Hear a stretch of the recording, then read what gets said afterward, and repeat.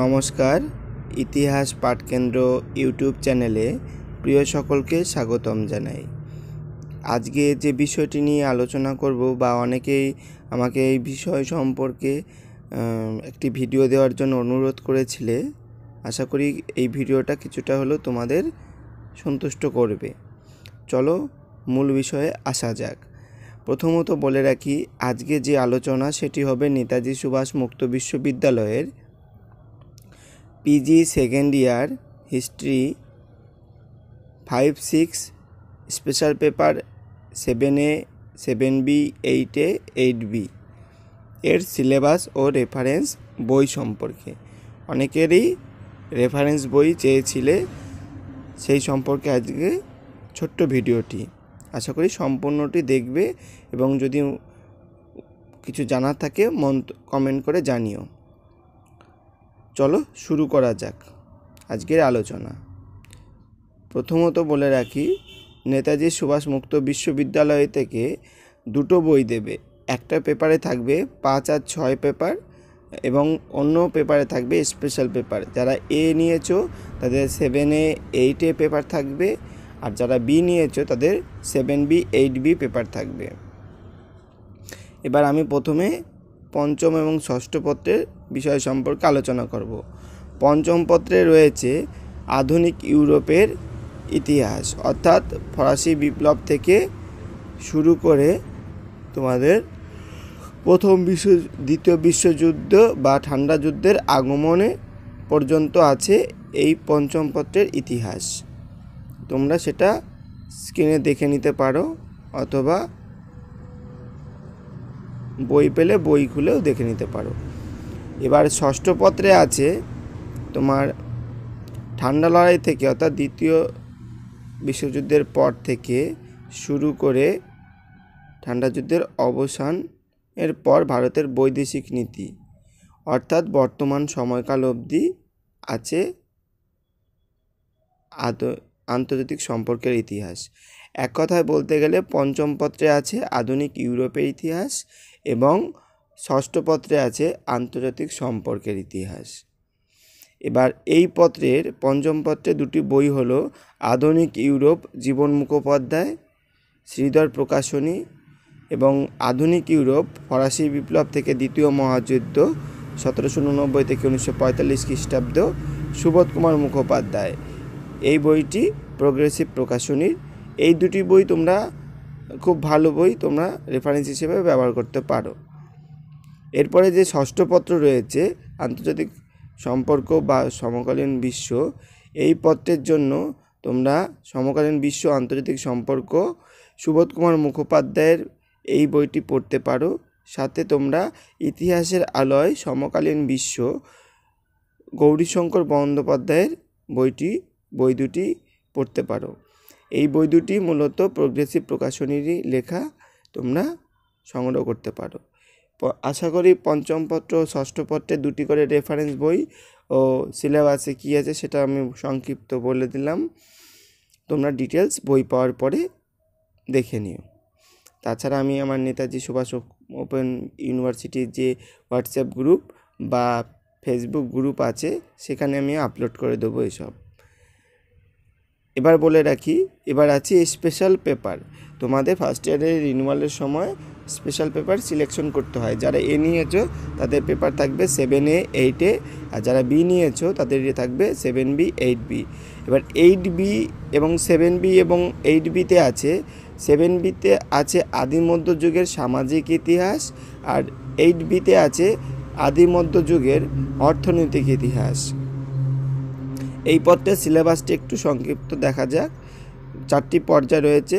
এই পর্যায়ে রয়েছে সামাজিক পর্যায় সেভেন বিতে যেমন রাজনৈতিক কাঠামো, সুলতানি ব্যবস্থার তত্ত্বস্বরূপ, কেন্দ্রীভূত রাষ্ট্র ব্যবস্থার বিকাশ, রাষ্ট্র সমাজ, আঞ্চলিক রাজ্যের সূত্রপাত রাজপুতানা রীতি সমাজ সমাজ ইতিহাস, বিজয়নগর সাম্রাজ্য, বাংলা, ঠিক আছে?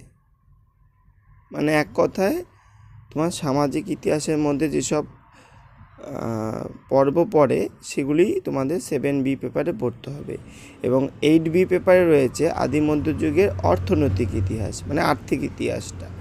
যেমন এখানে রয়েছে আদি মধ্যযুগের কীভাবে প্রাচীন থেকে মধ্যযুগ উত্তরণ হলো, তার বৈশিষ্ট্য সামন্ত প্রথার যে বিতর্কটা রয়েছে ইতিহাস চর্চা, সেটা আলোচনা, তারপরে ইত্যাদি ব্যবস্থা, কৃষি কাঠামো, নগরায়ন এছাড়া বিজয়নগরের অর্থনীতি সমস অর্থনীতি সম্পর্কে বাংলার অর্থনৈতিক অবস্থা, এই ভা- ভারতের বহির বাণিজ্য আদি মধ্যযুগে এই সম্পর্কে রয়েছে এইট বি পেপারে।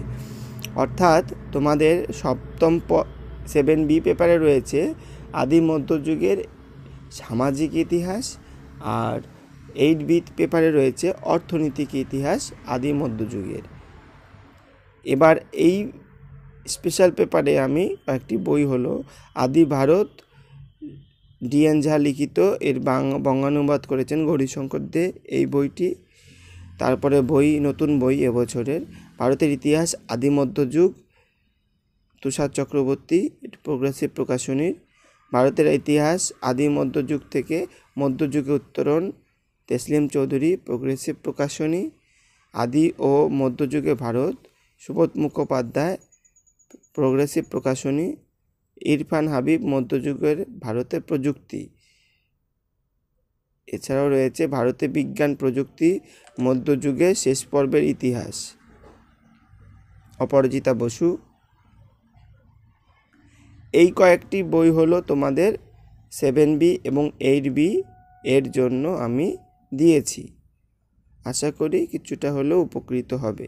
এবার আসি A paper. Special paper A পেপারে রয়েছে তোমাদের ঊনবিংশ ও বিংশ শতাব্দীর ইতিহাস। সেভেন এতে রয়েছে ঊনবিংশ শতাব্দী, ঊনবিংশ বিংশ শতাব্দীর সামাজিক ইতিহাস আর এইট এতে পেপারে রয়েছে ঊনবিংশ বিংশ শতকের অর্থনৈতিক ইতিহাস। তোমরা স্ক্রিনে দেখে নিও। আমি বিষয়টি আলোচনা করলাম না, যেহেতু একটু বড় সিলেবাস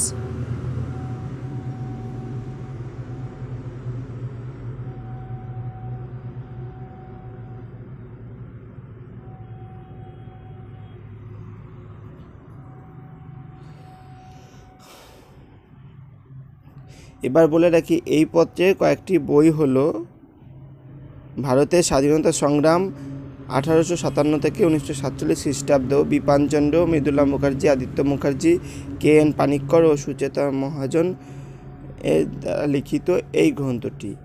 এছাড়াও রয়েছে স্বাধীনতা সংগ্রাম ও স্বাধীনোত্তর ভারত, সুভাষচন্দ্র মুখোপাধ্যায় এরপরের বই, ইতিহাস, চিন্তার সূচনা জাতীয়তাবাদের উন্মেষ বাংলাকে কেন্দ্র করে শ্যামলী সুর আঠারোশো সত্তর থেকে উনিশশো বারো সাল অবধি আছে। এছাড়াও রয়েছে বাংলার আর্থিক ইতিহাস, বিংশ শতাব্দী সুবোধ কুমার মুখোপাধ্যায়, বাংলার আর্থিক ইতিহাস, ঊনবিংশ শতাব্দী সুবোধ কুমার মুখোপাধ্যায়। এই ছিল মোট রেফারেন্স বই। কিছু পরবর্তীতে আমি আরও রেফারেন্স বইয়ের লিস্ট দিয়ে দেবো। আপাতত এইগুলি তোমরা পড়তে থাকো। যদি মনে হয় এগুলি তোমাদের উপকারে লেগেছে, অবশ্যই মন্তব্য করে জানিও। তাহলে আরও ভিডিও দেব। আর তোমরা যদি বিডিপি বা পিজি যে কোনো সাবজেক্টের যে কোনো সাবজেক্ট বলতে ইতিহাসের যদি নোট নিতে চাও, সেক্ষেত্রে আমার স্ক্রিনে দেওয়া নাম্বারটিতে যোগাযোগ করে নিও। এবছর থেকে আমি পলিটিক্যাল সায়েন্স এবং এর বিডিপি প্রথম বর্ষের নোটটাও দেব।